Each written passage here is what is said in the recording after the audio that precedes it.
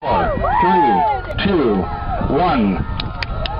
Booster ignition and liftoff of Endeavour, including in fulfilling Japan's hope for an out-of-this-world space laboratory.